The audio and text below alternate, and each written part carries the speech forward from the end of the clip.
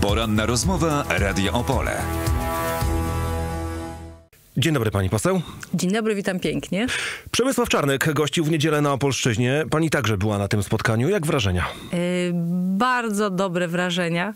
No przede wszystkim musimy powiedzieć o frekwencji. Frekwencja była oszałamiająca. Mnóstwo ludzi oczywiście nie zmieścili się w sali. Wiele osób stało poza salą, na klatce schodowej. Nawet zastanawialiśmy się, czy moglibyśmy na szybko wynająć dodatkową salę, żeby tam ludzie mogli e, przynajmniej odsłuchać słuchać to, co mówi na bieżąco pan e, minister Czarnek. No oczywiście atmosfera bardzo budująca, wielkiego zrozumienia. Przemysław Czarnek znany jest z tego, że potrafi mocno, autentycznie, szczerze, bezkompromisowo oceniać rzeczywistość i tak rzeczywiście było.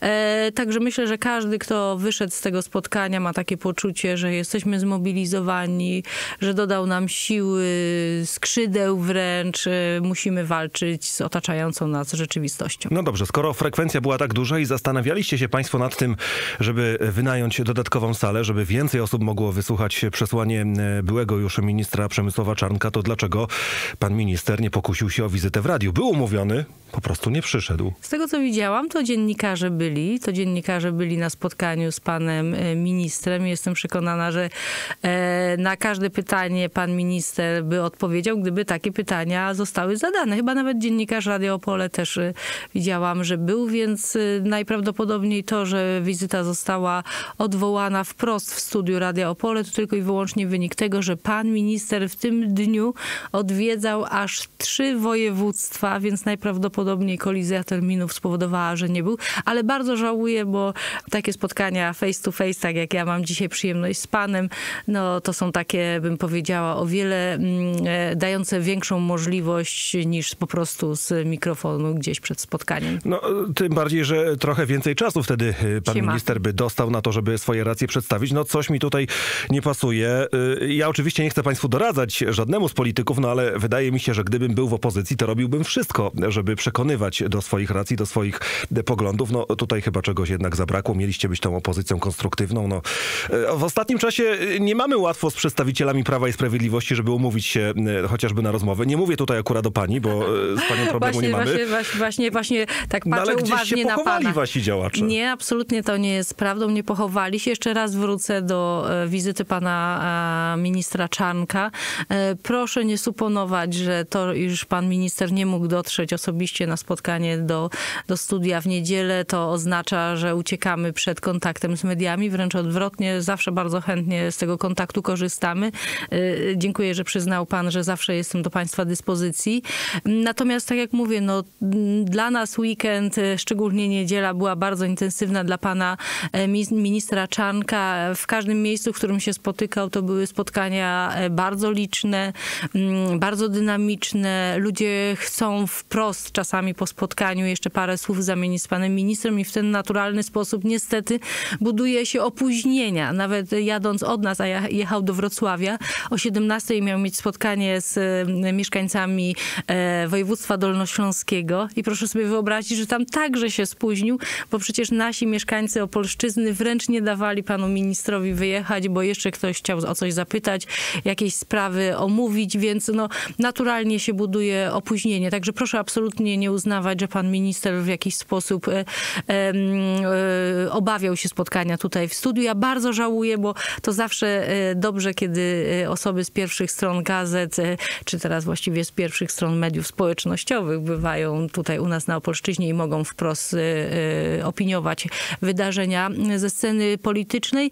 Tak, jesteśmy konstruktywną opozycją i te spotkania liczne e, wzdłuż całej Polski, które odbyły się w niedzielę z przedstawicielami tak naprawdę pierwszego garnituru polityków y, PiSu przyciągnęły olbrzymią liczbę. No właśnie, to jest pierwsze tego typu spotkanie na Opolszczyźnie. Mają być kolejne w tak, następnych tygodniach. Kto do nas przyjedzie? Mają być kolejne. Tak, dalej to będą przedstawiciele tego pierwszego garnituru Y, osób, które są znane z kierownictwa partii. To są osoby, które e, występują w mediach społecznościowych, są bardzo istotne z punktu widzenia takich właśnie kontaktów, relacji z, z, z mieszkańcami, więc będziemy teraz takie turne organizować po całej Polsce, żeby wprost spotykać się z ludźmi. To zawsze przynosiło efekty. Ludzie chcą się spotykać, ludzie chcą zadawać pytanie, ludzie chcą słyszeć mm, z ust no, najważniejszych polityków partii y, ocenę sytuacji. No, mnie tam nie było, bardziej... to prawda, ale widziałem na zdjęciach pani poseł, y, mało młodzieży się pojawiło na tym spotkaniu. Proszę nie, nie nawet y, nie stawiać takiego,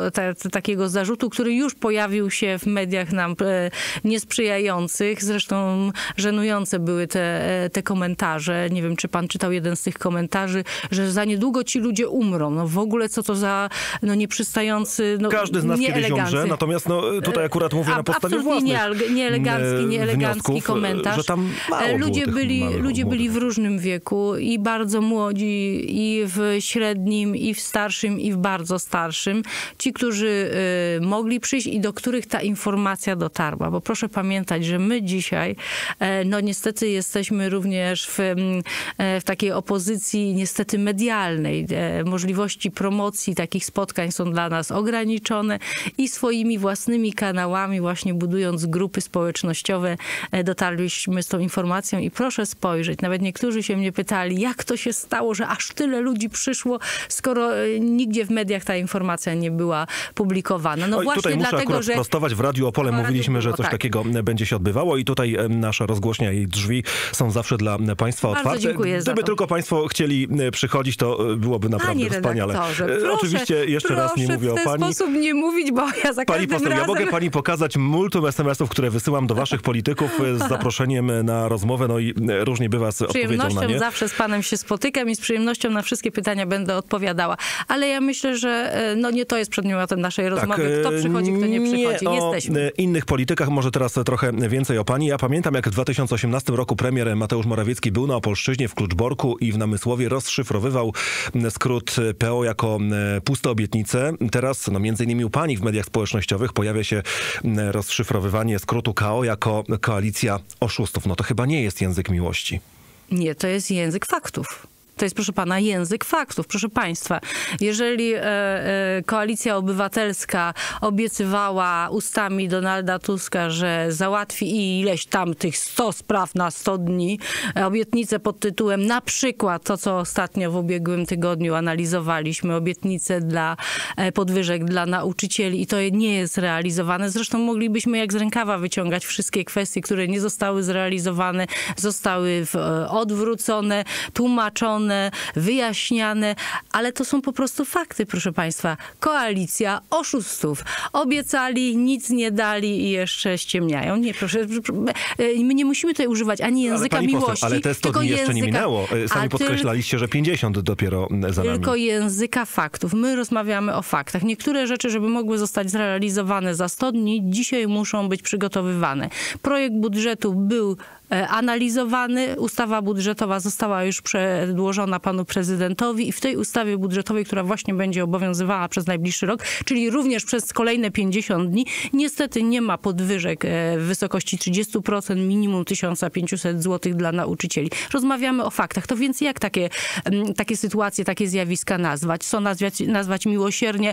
No coś im się pomyliło, obiecali, a może nie wiedzieli, co powiedzieli? Nie, w ten sposób to tłumaczy, e, tłumaczą E, ludzie, którzy sprzyjają Donaldowi Tuskowi, w jakiś sposób chcą zaciemnić obraz. Nie, my będziemy rozmawiali o faktach, będziemy rozmawiali o prawdzie i skoro jesteśmy konstruktywną e, opozycją, to w sposób e, bardzo czytelny, transparentny musimy przekazywać wyborcom, społeczeństwu informacje o tym, jak są oszukiwani. Zresztą, proszę Państwa, no, gdybyśmy tej dyskusji nie wywoływali, gdybyśmy nie analizowali tych informacji dotyczących na przykład podwyżek dla nauczycieli, to najprawdopodobniej najprawdopodobniej w mediach, które sprzyjają wprost e, obecnej koalicji rządzącej, w ogóle taka dyskusja by się nie odbywała. W związku z powyższym naszym, zadaniem, naszym zadaniem jest mowa o tym, co się nie dzieje, a było obiecywane. Jeżeli ktoś składa obietnicę, to znaczy, że ta obietnica go, jego zobowiązuje, tego, który składa. Ale przypomnijmy słowa również Donalda Tuska i polityków Platformy Obywatelskiej.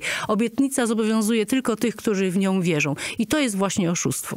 Będziemy na pewno do tych kwestii wracać w czwartek czwartek będę rozmawiał z posłem Rajmundem Millerem z Koalicji Obywatelskiej. Obiecuję, że na pewno o te kwestie związane z wynagrodzeniami dla nauczycieli będę pytał. No też jestem ciekawy, jeśli państwo również, to proszę być z nami w czwartek. Natomiast jak już o tych podwyżkach rozmawiamy, w ubiegłym tygodniu w Sejmie odbyło się pierwsze czytanie obywatelskiego projektu ustawy o zmianach w karcie nauczyciela. Tam chodziło innymi o to, żeby uzależnić poziom wynagrodzeń nauczycieli od poziomu, od wysokości tak zwanej średniej krajowej.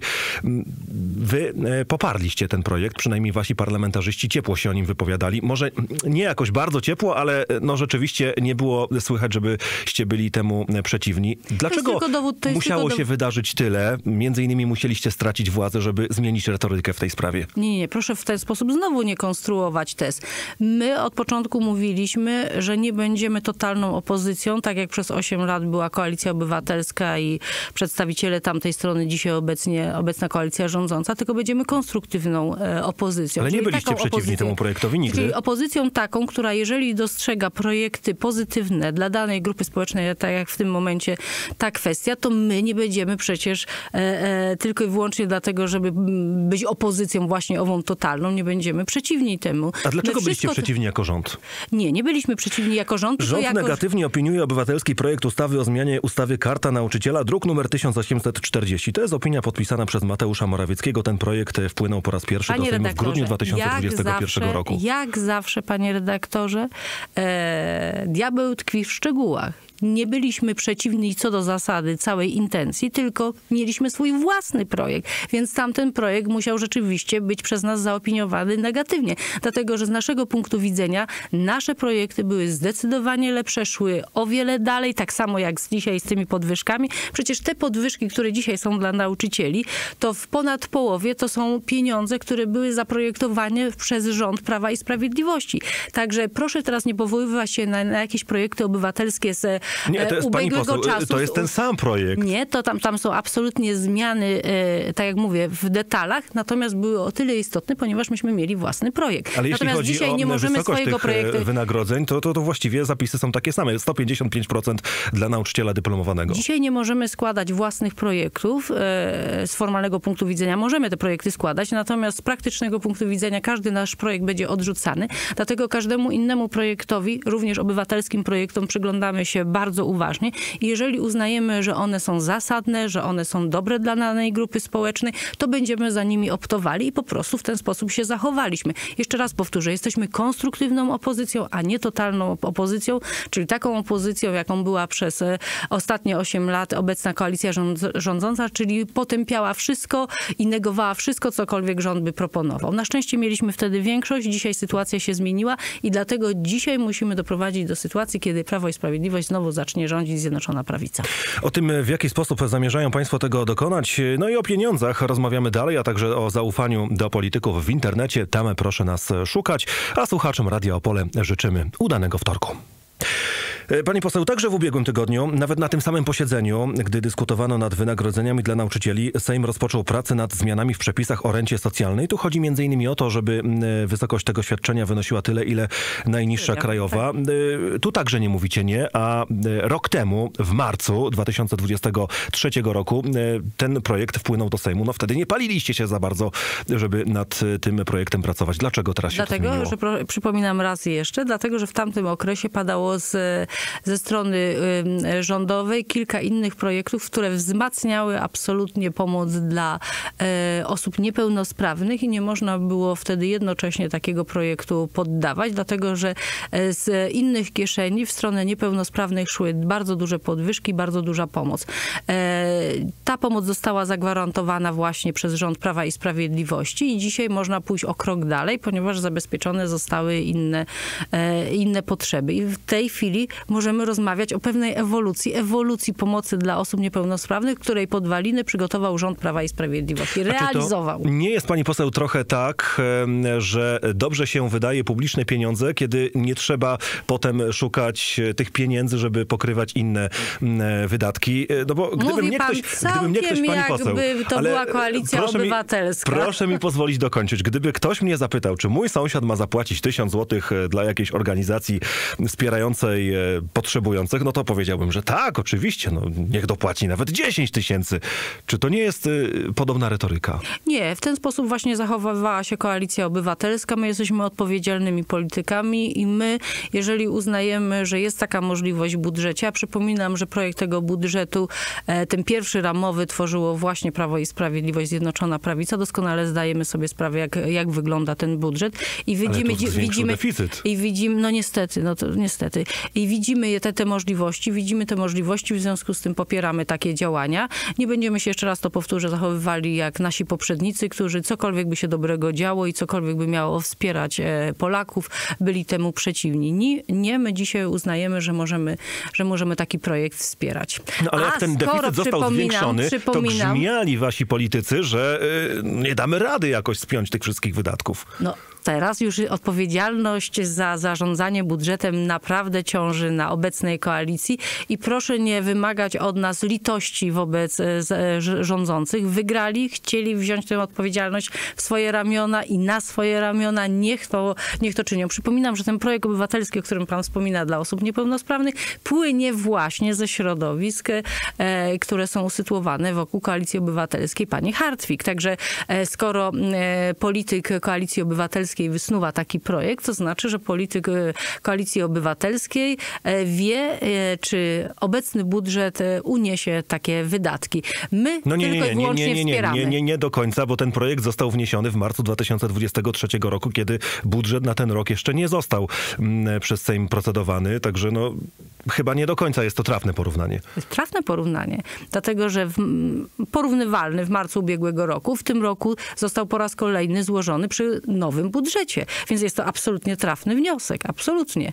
Skoro e, po raz kolejny dzisiaj złożony został do laski marszałkowskiej, jest procedowany przez obecną koalicję rządową i koalicję większościową w Sejmie. No to, to, znaczy, już, że, to znaczy, że mają świadomość, że ma, nie, to jest ta sama kwestia. To znaczy, że mają świadomość tego, jaki to będzie wydatek i czy budżet to udźwignie. No, e, e, posłowie chyba mają prawo się wypowiedzieć co, w Sejmie co do e, treści różnych projektów ustaw, e, różnych projektów prawnych, no i posłowie Prawa i Sprawiedliwości Zjednoczonej Prawicy się wypowiedzieli. Proszę bardzo. Pani poseł, zmieńmy temat. Zespół Pracy Państwowej jego e, prace mają się wkrótce rozpocząć. To nie jest nowa inicjatywa. Ja pamiętam, że w 2009 roku już podobne ciało zostało powoływane.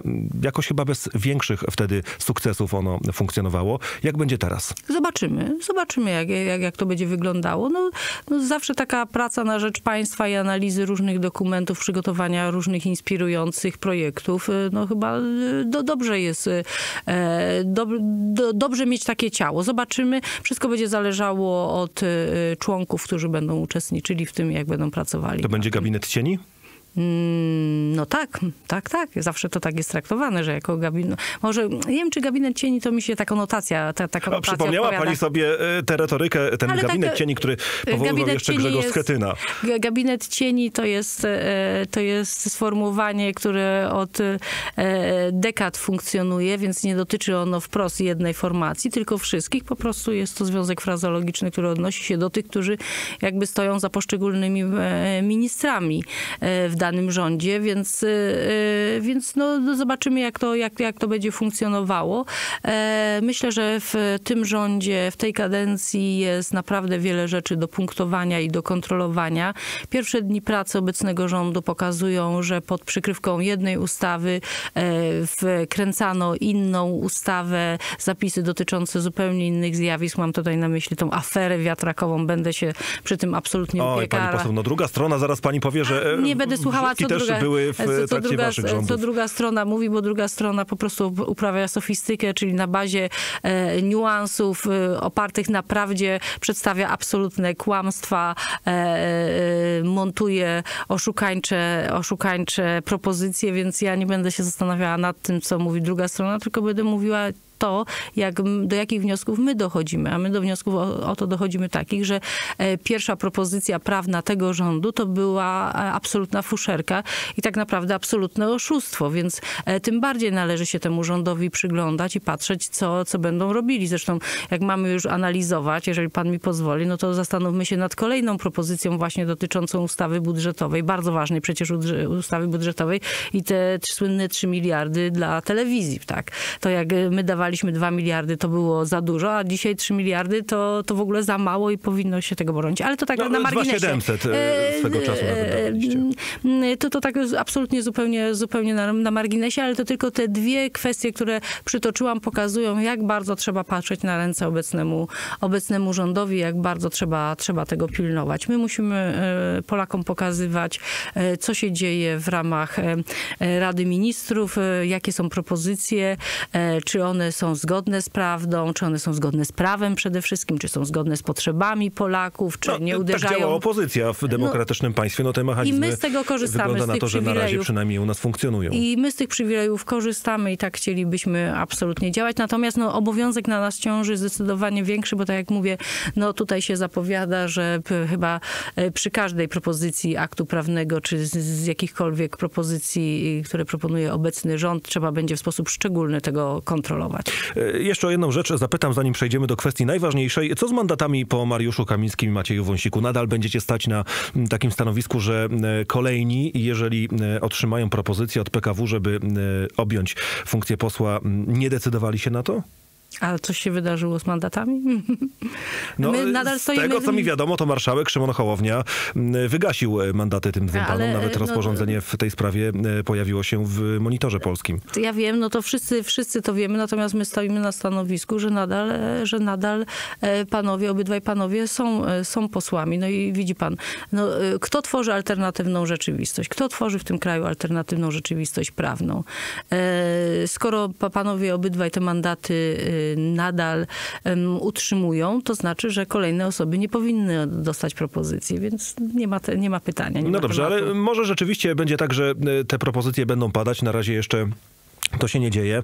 Jeśli chodzi o tych dzieje, bardziej znanych polityków. do tego, żeby e, takie, takie działania podejmować. Jeśli chodzi o tych bardziej znanych polityków, którzy mają co ze sobą zrobić, no to tutaj chyba możecie być spokojni. Ale są takie osoby jak na przykład pan Andrzej Olborski czy Czesława Caruk. Oni zdobyli odpowiednio 699 i 479 głosów. Myśli pani, że gdyby było tak, że w końcu oni zostaną zapytani, nie skuszą się? Tego nie wiem. Tego na to pytanie nie potrafię odpowiedzieć. Być może by się skusili.